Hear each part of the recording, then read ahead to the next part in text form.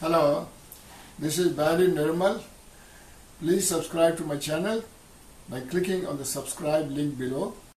Hello, in this video I will show you how I transformed my old laminate in the living room of my house into a painted floor. You can see the, uh, the unpainted old laminate flooring. For example, see, look at this, this area here. It's coming apart. So the only way to hide that is to paint over it. Okay? But because it's laminate, I have to put a primer first because the laminate has a shiny surface. So I put a primer uh, on top of it a first coat of primer and rough coat. I'm not going to make it perfect because it's just a primer to make the surface little rough so that the paint will stick on it. And you can, as you can see, I have put also painter's tape uh, along the edges so that when I'm painting, I don't have to be too careful. I, uh, I can just paint little carelessly and uh, the painter's tape will, uh, will protect it, okay? So this is the, uh, the first step is to uh, put the primer on the laminate floor. This is the living room of my house. You can see this is my living room and uh, the walls are already painted in gray and the door is also painted in white brilliant white, bright white. Uh, but now the, uh, we are working on the floor. So now you have seen that I have put the uh, primer on the floor and uh, I put the paint around the edges first uh, because you have to be careful at the edges. And now I'm going to paint here. Now I'm going to paint this, uh, this floor.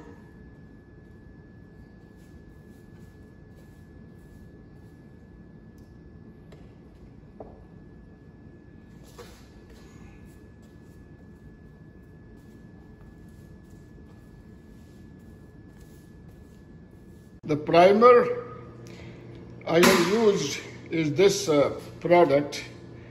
It's called Zinsser Bullseye 2 multi-purpose interior exterior exterior primer. High hiding. It says it's one gallon tintable it says here hides most colors or hides dark colors blocks all the stains. And uh, it says great adhesion, sticks to all surfaces, paint in one hour. So after one hour you can paint. And it's a low odor water base. And you can also tint it. You can tint it with another color. And uh, even though most people just use, use this primer without tinting because uh, it's white, so any color paint will go very nicely on top of it. So this is Zinsser and it's made by is made by Rust-Oleum. See, you can see Rust-Oleum Corporation. They make very nice paint stuff, paint and primer, and uh, uh, I like their products.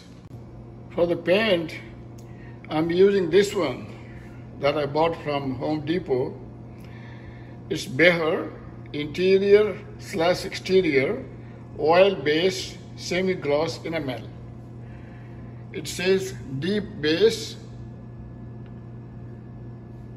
number 3830 and uh, this is the best paint.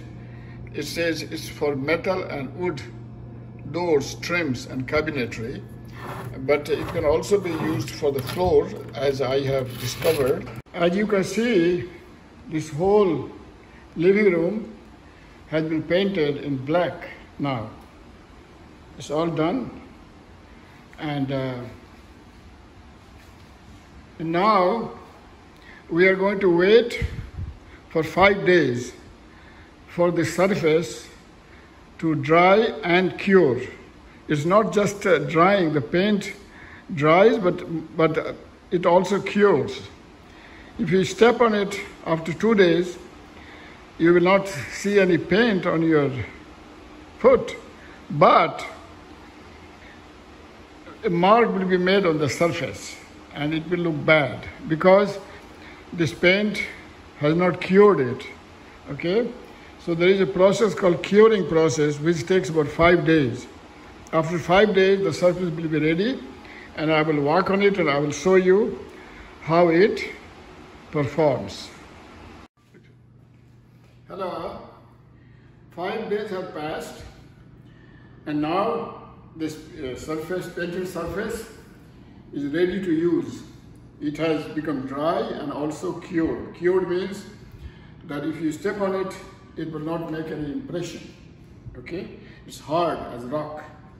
And uh, you, as you can see, I'm walking on the on the uh, on the on the painted surface, and uh, it looks great. There's no impression, and it looks nice. It's very shiny because the paint color was semi-gloss. So everything is just great. You can, as you can see, the whole whole living room has a new look. Okay. Thank you. Hello. If you have not subscribed to my channel, please do so by clicking on the subscribe link below. Also write your comments in the comment section below. Spread the word. You can share this video with your friends by clicking on the share button below and you can share it with uh, WhatsApp, with Facebook, Twitter, Instagram and by sending email to your friends.